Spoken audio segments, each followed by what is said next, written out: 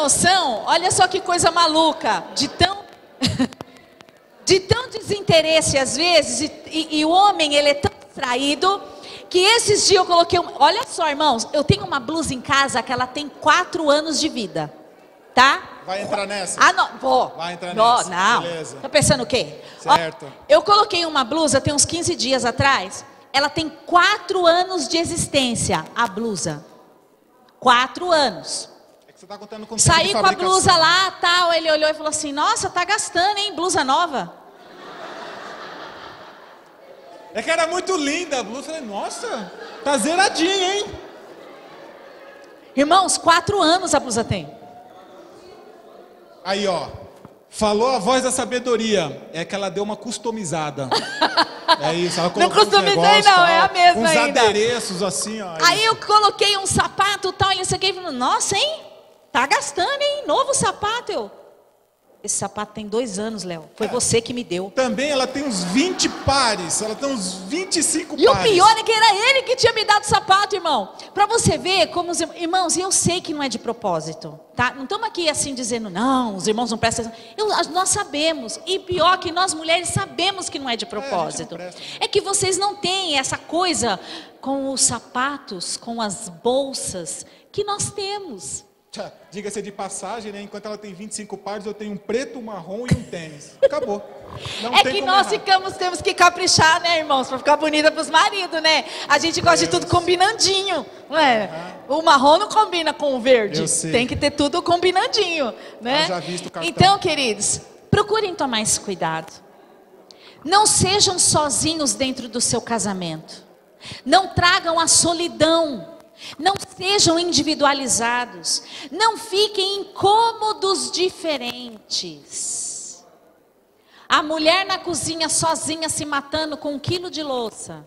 E você no sofá tranquilo, sossegado. Levanta. Faça essa mulher feliz. Chega lindo, saltitante, fala: Quer que eu seque a louça para você? Eita. E mulher não responda assim: Que bicho te mordeu? Não. Diga, claro, meu amor. E depois que você terminar de secar, eu ainda vou lhe dar um beijinho. Eu sou daqueles que é dando que se recebe, né? Eu, você percebeu que eu tô lavando mais louça ultimamente. Eu percebi.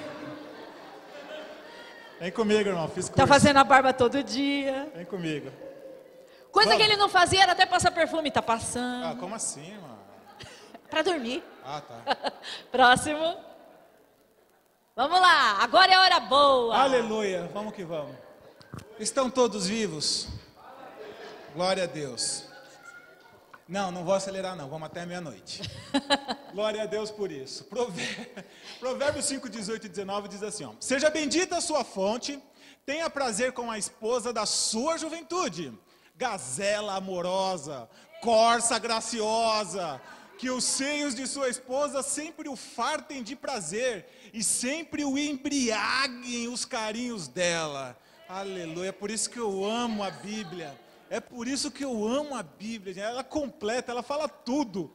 Queridos, é óbvio, claro e evidente, que você não vai chamar a tua esposa de gazela. Ô, gazela, chega aí. Você não vai fazer isso, não vai chamar ela de cors. Não, não, não, não. Aqui, né, é, é outra, é só para dar a dica, entendeu? Mas não vai chamar de fofinha também não, viu? Não, não, fofinha não. Docinho, minha cheirosa, minha nega, sei lá, mas gazela eu acho que não vai ser legal, não. Acho que pode dar o efeito contrário. Como é, como é que é, irmão? Você tá me chamando o quê? Aí até entender que explicar que é lá do livro de Provérbios não vai dar certo. Mas, querido, o que, que a gente quer dizer aqui? Eu lembro que na palestra anterior a gente falou sobre a alegria, né? A questão de ter uma vida sexual alegre e tal. Porque por mais que algumas igrejas às vezes não é que proíbam, mas não falam sobre isso. E é algo tão importante na vida do, do, do casal, do relacionamento, que às vezes as pessoas se passam desapercebido. E eu lembro que a gente comentou também que área financeira e sexo estão entre os top 5 dos maiores problemas apontados pelos maridos. A área financeira e área sexual está destruindo. Mas às vezes por um excesso de religiosidade de alguns comandantes aí de igrejas, não, não, não, não, isso daí é para vocês resolverem na sua casa. Ou isso daí é para vocês falarem em outro momento. Ah, isso daqui é para falar não sei o quê. Não, queridos, a gente está na igreja, a gente está para aprender as coisas do céu. Vem falar para mim que isso aqui não é de Deus. Me prova que falar de amor, de sexo, de cumplicidade, de entendimento, não é de Deus. Como não? Até porque se não fosse, não estaria na Bíblia. Só que a gente é meio receoso de falar, tem alguns pudores. Graças a Deus que a igreja está evoluindo muito nisso, até pelos pregadores que a gente ouve por aí. Mas era um negócio que era muito fechado. E quando você começa a aprofundar nesse assunto, sabendo que isso é necessário para uma boa comunhão, para uma vida saudável, as pessoas se blindam nisso. Então, em nome de Jesus, glória a Deus que hoje eu vou falar, tá? E se de repente ofender, não ofender não, se constranger, se você fizer uma cara de que normal, ninguém vai entender nada. Você continua assim, só não dá goela, entendeu? Se dá goela, é contigo. Mas é necessário, até porque teve maridos que nos encontram, porque além das palestras, a gente tem casais que nos procuram de forma individual. E se tiver alguém aqui, só entrar em contato com a gente que a gente faz um delivery até a tua casa lá.